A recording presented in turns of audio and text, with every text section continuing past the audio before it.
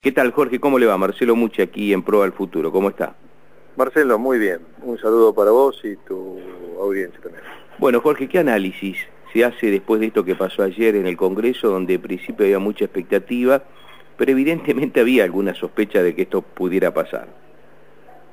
Lo primero que te voy a decir es altamente positivo. A ver, de varios puntos de vista y siempre con optimismo. Hubo un lugar para el tema del debate, se está tratando, en, debatiendo esto por lo menos en el Congreso como nunca, que te diría, con lo cual ya es positivo. Temas que pasan en el medio, redicillas que en esta cuestión, un tema de marina mercante e industria naval muy difíciles en este contexto donde estamos hoy, es cierto. Pocos entendidos sobre lo que significa la marina mercante e industria naval y en qué plano están, también es cierto. Esto nos lleva a venir a batallar desde hace muchos años, porque son varios años que venimos atrás de esto, para poder conformar el tema de la ley. Y ayer, bueno, pasó lo que tenía que pasar. Todavía, el, digamos que la parte del Ejecutivo este, no estaban tan convencidos y de sacar la mejor ley posible. Eh, no hubo el cuoro necesario, pero no solamente por el tema de Cambiemos, ¿eh? también los otros bloques no bajaron la totalidad de la gente, no estuvieron presentes, de sus diputados. Tampoco, si venía, si venía Cambiemos, vamos a hacer una buena lectura, tampoco había la cantidad de diputados de los bloques que estaban, de los otros dos bloques presentes. Eh, también esta semana con el juez en el medio, por ahí fue difícil que los diputados del interior, que conforman también la comisión, vinieran esta semana a al Congreso. Pero bueno, eso salió así, lo que bueno que quedó con esto eh, es que quedó abierto para el martes que viene, quizás tengamos que pedir una o haya una prórroga por 15 días para poder consensuar bien el tema de los proyectos. Yo creo que ayer quedó eh, ratificado que Cambiemos quiere en el tema de participar, los diputados que estuvieron presentes así lo manifestaron, y esto nos va a llevar a un debate en estos intensos, te diría, en estos 15 días, para llegar a ese consenso que creo que eh, estamos en camino de lograrlo para sacar lo mejor posible en estas, circunstancias. Así que te diría, soy optimista. Está claro. Eh, Jorge, pareciera que en esta discusión, en esto que se está planteando por estos últimos días, hay como dos puntos allí donde no digo que no se ponen de acuerdo, pero es donde seguramente se va a trabajar en los próximos días. Por un lado la cuestión impositiva de la ley y por otro lado el tema subsidios. Eh, ¿Vamos más o menos rumbeados? ¿Por ahí pasa la, discusión? Vamos rumbeados por ese lado. Eh, sí, es un tema impositivo que se hace más difícil y posiblemente venga con la etapa de los subsidios. Si esto de alguna manera conforma una gran medida para los armadores que con el tema de subsidios les alcanza, bueno, tiene que ser positivo, porque fíjate vos qué raro. Acá estamos defendiendo más la parte impositiva de los armadores, los gremios, que las mismas cámaras. Eh, esto es una cosa media rara y esto lo estamos haciendo nada más porque queremos que darle un contexto para que puedan traer, que sea favorable para tener competitividad y poder traer los barcos. Eh, están divididos también entre ellos en el tema del mismo de los armadores y algunos por ahí cerrados son un tema impositivo y otros demuestran o dicen y están hablando de que con esos subsidios también les alcanzaría para ese marco de competencia del tanto que estamos hablando, que indudablemente eh, a lo que es hoy, que es prácticamente imposible a tener esas ventajas, les, les abriría una ventana para que a ver qué ocurre.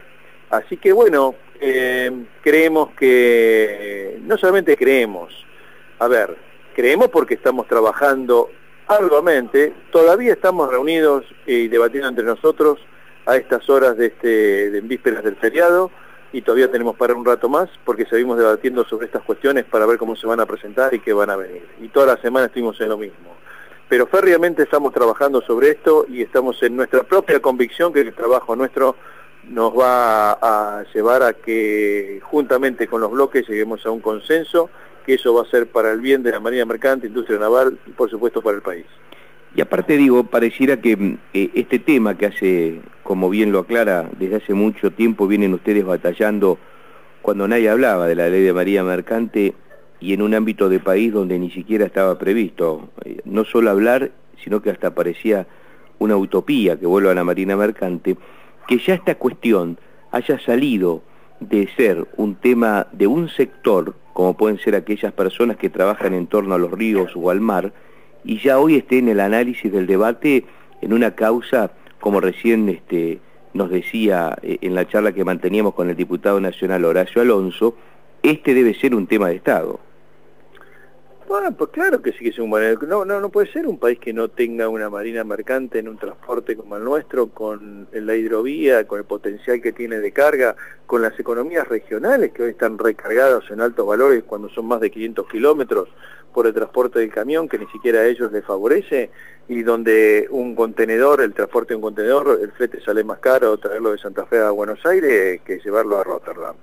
Entonces esto es, una estrategia que tiene que tomar indudablemente una política de Estado para poder bajar esas, eh, facilitar a las economías regionales que para el desarrollo de las nuevas provincias y poder estar en una etapa competitiva, no en Argentina, en el mundo, porque nuestros productos son de exportación.